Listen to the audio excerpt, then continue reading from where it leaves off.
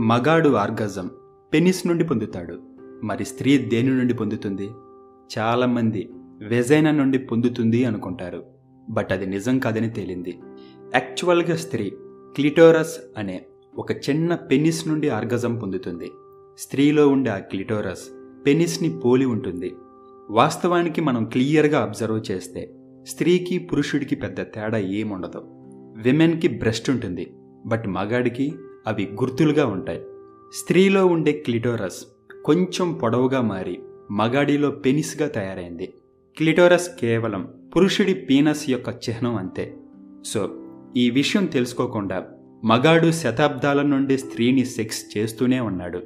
దానివల్ల పిల్లలైతే పుడుతున్నారు కానీ స్త్రీ సంపూర్ణంగా సెక్స్ని ఆస్వాదించలేకపోయింది.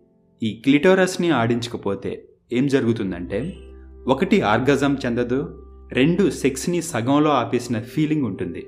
సో అందుకే స్త్రీకి శతాబ్దాల నుండి ఎక్కడో ఏదో తెలియని బాధ. ఆ బాధ బయటికి చెప్పలేదు అలా అని భరించనో లేదు. అందుకే స్త్రీ సెక్స్కి వ్యతిరేకమైంది. మగాడు మమ్మల్ని సెక్స్ పరంగా వాడుకుంటున్నాడు అనే కన్క్లూజన్కి వచ్చింది.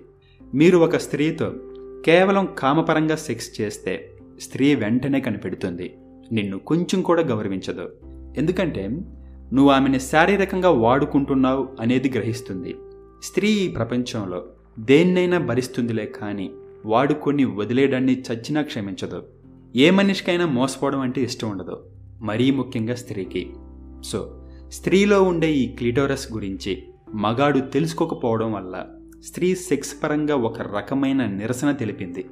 నిజానికి క్లిటోరస్ని ఆడించాలంటే స్త్రీ పట్ల మగాడికి కొంచెం ప్రేమ ఉండాలి స్త్రీ కూడా సెక్స్ని అనుభవించాలి అనే ఇంగిత జ్ఞానం ఉండాలి.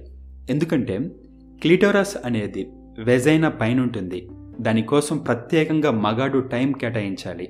బికాజ్ దాని నుండి స్త్రీ మల్టిపుల్ ఆర్గజం చెందుతుంది. కానీ మగాడు ఈ పని చేయలేడు. ఎందుకంటే ఒకటి వాడి సుఖం వాడు చూసుకుంటాడు రెండు క్లిటోరస్ని కదిలిస్తే మగాడు స్త్రీని సెక్సువల్గా సాటిస్ఫై చేయలేడని వాడికి బాగా తెలుసు. అందుకే స్త్రీని ఆర్గజం చెందకుండా అణిచివేశాడు. వెస్ట్రన్ కంట్రీస్లో ఈ ప్రాబ్లం లేదు. బికాజ్ అక్కడ స్త్రీలకి వ్యాజినల్ ఆర్గజంకి క్లిటోరస్ ఆర్గజంకి తేడా బాగా తెలుసు. బట్ మన దేశ స్త్రీలకి కనీసం తన బాడీ పార్ట్స్ గురించి తనకే తెలియదు. ఇక ఆర్గజం సంగతి పక్కన పెట్టు. కానీ ఇప్పుడు కాలం మారింది. కొంత ఎడ్యుకేషన్ మూలంగా ఇంటర్నెట్ మూలంగా. స్త్రీకి సెక్స్ అంటే కొంత తెలుస్తుంది అని అందరూ అనుకుంటున్నారు. కానీ అది నిజం కాదు. స్త్రీలకు సెక్స్ గురించి పూర్తి స్థాయిలో ఎక్కువ శాతం ఇప్పటికీ తెలియదు. ఎందుకంటే ఈ అభ్యుదయ స్త్రీలు ఫక్ అనడమే ఫ్యాషన్గా ఫీల్ అవుతున్నారు. స్ట్రేంజర్స్తో సెక్స్ చేయాలని వెస్ట్రన్ కంట్రీస్ నుంచి దిగుమతి చేసుకున్న మాటల్ని చిలక పలుకులు పలుకుతున్నారు. ఎందుకంటే కట్టుబట్టు మార్చి లిప్స్టిక్ వేయడమే అభ్యుదయం అని విర్రవిగే మూర్ఖ స్త్రీలు వీళ్ళు. అలా అని నేను స్త్రీలని అణిగిమణిగి ఉండమని చెప్పడం లేదు. బికినీ వేసుకున్న ప్రాబ్లం లేదు. బట్ వాట్ ఈజ్ వాట్ తెలుసుకొని నీకు ఇష్టమైతే చెయ్యి. అప్పుడు ప్రతి ఫ్యాషన్లో సుఖం ఉంటుంది. అంతేలే కానీ దిగుమతి చేసుకున్న ఫ్యాషన్లో మూర్ఖత్వానికి బలవద్దు సో ఇదంతా ఇప్పుడు ఎందుకు చెప్పానంటే ప్రతి దాని గురించి తెలుసుకోకుండా చేయడం వల్లే సెక్స్లో సాటిస్ఫాక్షన్ లేకుండా పోయింది. ఫర్ ఎగ్జాంపుల్ స్త్రీ శరీరం అనేది అనేక రకాల మ్యూజిక్ ఇన్స్ట్రుమెంట్స్ లాంటిది. ఏ వాయిద్యం ఎలా వాయించాలో తెలిసినప్పుడే ఒక చక్కటి సంగీతం పుడుతుంది. బట్ తెలియకుండా వాయిస్తే ఆ సౌండ్ వల్ల ఇంకా చిరాకు పడుతుంది. ఇప్పుడు ఎగ్జాక్ట్గా సెక్స్లో జరిగేది అదే. మీ పార్ట్స్ గురించి మీరు తెలుసుకోకుండా సెక్స్ చేస్తున్నారు. దానివల్ల సెక్స్ చేసిన ఎక్కడో తెలియని చిరాకు. ఆ చిరాకు వల్ల వేరే వాళ్ళ దగ్గర ఏదో ఉందని ఆశించడం. అది అలా కొనసాగు